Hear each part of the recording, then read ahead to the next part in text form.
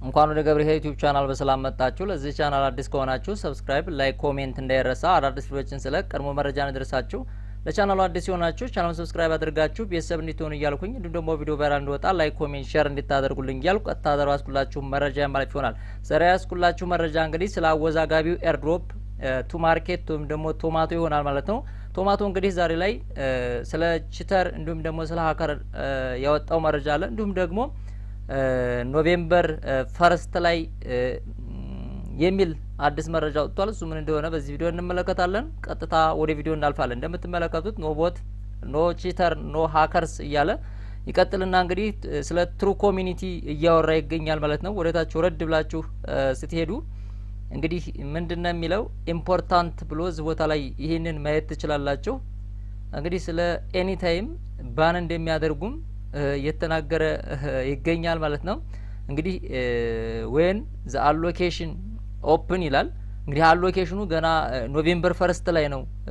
ያም ቀን ደግሞ አልታወቀም። November first ተባለ እንጂ extend ሊሆን ይችላል ወይስ ደግሞ እንዴት ነው የሚለውን ለእናንተ ትቻለሁኝ። እንደምትመለከቱት ስለ cheating እያወራ direct playing direct ይልና or cheating in any way ይላል። keep an eyes on your bot ይላል።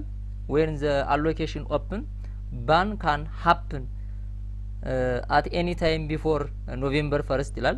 እንደምትመለከቱት እስከዛ ድረስ እንግዲህ ይሄኛው ታዲያ እዚህ ጋር የሚቆጥረው token generation countdown ኑ ምንድን ነው? እስቲ ለእናንተ ልጠይቃችሁ። ዛሬ ይሄን ቪዲዮ ወደ እናንተ ነው forward የማደርገው ሙሉ በሙሉ እኔ በጣም ይሄ airdrop ካስጠሉኝ airdrop ኦች አንዱ airdrop ነው ማለት ነው። ባለፈው እንግዲህ ታስታውሳላችሁ ከአንድ ወር በፊት ተንዘባዝቦ ተንዘባዝቦ ወደዚህ countdown እንዲሁ ሲቆጥር ከርሞ እንደዚህ አድርጓል። አሁንም ደግሞ countdown ቆጥሮ ቆጥሮ እንደገና ደግሞ ወደ November first የሚል ያመጣው ነገር አለ ማለት ነው። እንግዲህ total supply አይታወቅም፣ ምን ላይ list እንደሚሆን አይታወቅም። እንዲሁም ደግሞ ኤክስቻንጆቹ ራሱ ምን exchange ላይ ነው የሚለውንም እያንዳንዱ ነገር የተናገረው ነገር የለም። አንድ የ Bitget wallet ብቻ ነው እንግዲህ Bitget wallet ደግሞ list ከሆነ competent አይኖርም ወይም ደግሞ list ሊሆንም አይችልም። ስለዚህ ወደ ውስጥ ገብተን አንዳንድ መረጃዎችን እንመለከታለን። ወደ ውስጥ ወደታችን ወረድ ብላችሁ ስትመለከቱ እንግዲህ ከሁለት መቶ ሺህ በላይ TON ኦችን መሰብሰብ ይዟል ማለት ነው። ከ golden በላይ ያሉትን እንግዲህ ምን አድርጓል ማለት ነው። አንድ TON ጠይቋል። ያንን TON ከከፈላችሁ ምንድን የተሻለ reward ታገኛላችሁ፣ የተሻለ token ታገኛላችሁ እያለ ይገኛል።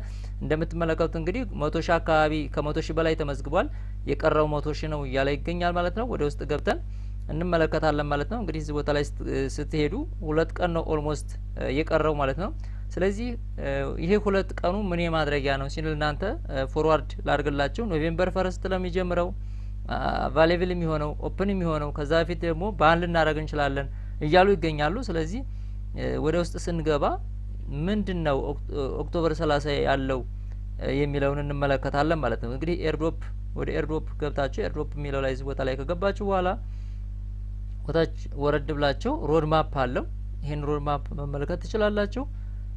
next step ይላል። እንግዲህ ይሄ next step ደግሞ ምንድን ነው? ይሄ ኮተት next step ማለት ነው። ይሄኛው እንግዲህ event ኡን አስተዋወቀ። እሺ ያለውን ነገር እነዚህን አስተዋወቀ። እነዚህን እኮ ባለፈውም ሌላ step አስተዋውቆ ነበር ካስታወሳችሁ መስከረም አካባቢ ነሐሴ አካባቢ መስከረም አካባቢ የሆነ step ኦችን አስተዋውቋል።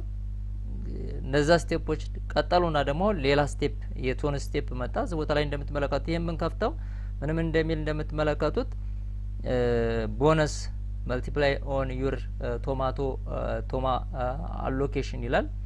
hundred percent እንግዲህ ከ token ኑ list ሲሆን የምትካፈሉ ትሆናላችሁ እያለ እንደምትመለከቱት bonus multiplier in Tomarket ይልና soon ይላል።